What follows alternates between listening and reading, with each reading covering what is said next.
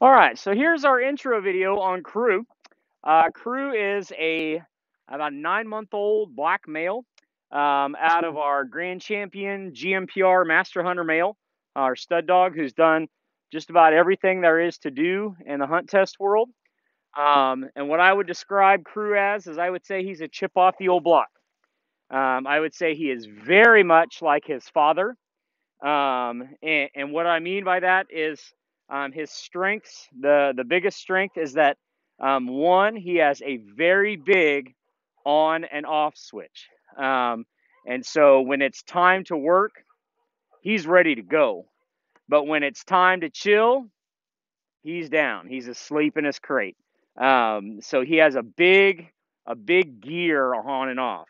Um, I would also describe him as being um, a dog who is a team player, meaning that he works uh, to work with me with the handler. Um, he is not a a selfish dog. A lot of times I call dogs selfish or dogs that that do the work for the sake of the work. Um, some people are looking for that. That is not Cru. Um, Cru is is a team player. He's a buddy. Um, I think he would be great as um, as a gun dog, great as a companion, great as a, a tracking dog, as a detection dog. I think there's a lot of things you could do with Cru. Um, there's a lot of potential in him. Um, it's just a question of what all you wanted to do with him. Um, and uh, what I would say about him is, of course, he's um, extremely healthy. Um, parents are OFA good uh, or excellent hips, elbows, eyes. Uh, all the DNA tests are all good. Um, his his level of training is he knows quite a bit of obedience. Um, sit here, heel. Um, he has uh, been shot right over the top of him.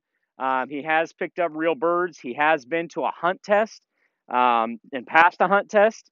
So this is not a he is not completely green, um, is what I'm trying to say. He knows some stuff, um, but he is compliant. He is a team player who's going to work with you. Now I've just been throwing him a couple of fun uh, retrieves here, and the object that I'm using today is actually really challenging. This is a small quail-sized uh, retriever dummy. Um, it's you know the smaller than my hand, um, and given the um, the snowfall and the cover, um, and we have a bunch of uh, sycamore trees out here. Um, this this really looks like a sycamore leaf laying on the ground. So um, it's it's great because it causes him to uh, to not only just look around for an object, but he has to really pinpoint it um, when he's marking. So in terms of um, his marking ability, his vision is very very good. Um, we generally consider um, marking uh, to be a um, a natural trait um, it's quite good. Cru is not yet force fetched. We have not gone through any sort of heavy pressure. He has had a little bit, a tiny bit of e-collar conditioning, um, but very little. Um, and so um, he's got a good start on that. I actually took, hey, I took the the dummy and I, I hung it up on the tripod below the camera, and he uh, he was trying to get it. So let me put that away, put that out of sight. Um, if he can see it, he's going to try to get it. Um, so what I also wanted to do is I wanted to give a little bit of a, a intro about his his ability to smell.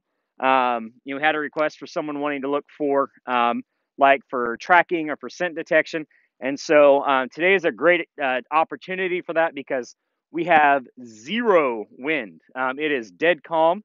Um, it's the day after we got this snow and ice, um, and so what I have here is um, I have a, uh frozen blue wing teal, um, and this frozen teal uh, will put off a little bit of smell. So if I gonna throw this into some heavy cover over here, Cru should be able to wind it, but in order to wind it, he's gonna have to get pretty close. Um, also, the coloring is going to hide it as well. So he's really got to use his nose to find this object. It's not it's not like it's just going to be laying here somewhere for him to get to. Here, bud. So, first time I'm going to take this, I'm just going to toss it out here like this. Cru! And I went ahead and restrained him there just so that he would have a good view of it uh, landing out there because this is pretty challenging with deep cover. This is also the first time Cru has seen snow. He was born this spring, so you can see the nose is going everywhere. Um, he's using his nose to guide him. Um, and what I would say with Cru is when he is hunting a fall, um, he is what I would describe as methodical.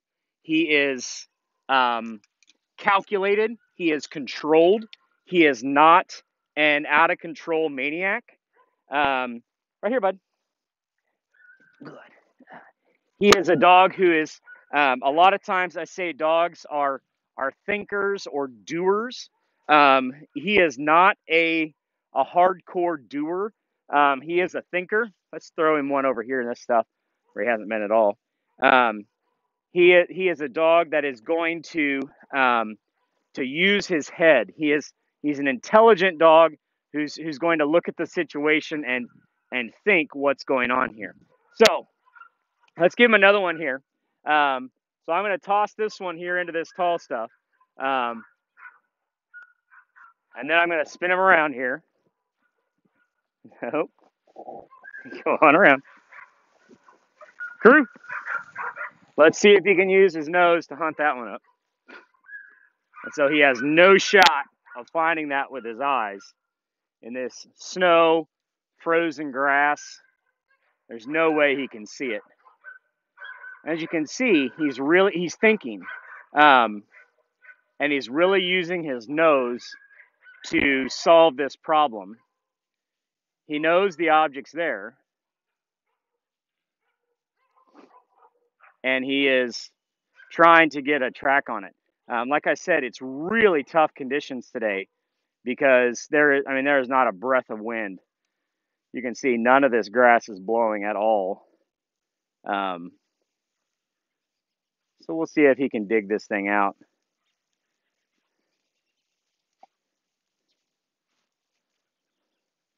Like I said, he is not a dog that runs a thousand miles an hour you know, and burns a hole in the ground when he is searching.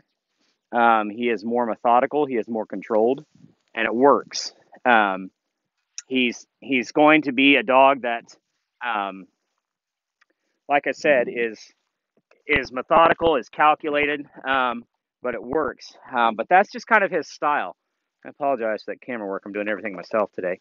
Um, so anyway, that's a pretty good look at Cru.